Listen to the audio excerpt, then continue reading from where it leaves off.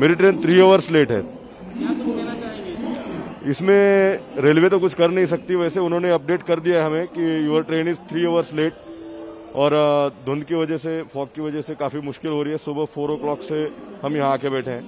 And उसके पहले से, एक दो घंटे पहले से घर से निकले थे तो और आगे पता नहीं कितनी देर और लेट हो जाएगा। मेरी थ्री आवर्स ट्रेन लेट है सर थ्री आवर्स क्या परेशानी का दिक्कत करना पड़ेगा आपको परेशानी सर यही है कि वहाँ पर जाएँगे तो फिर मतलब नाइट में पहुँचेंगे।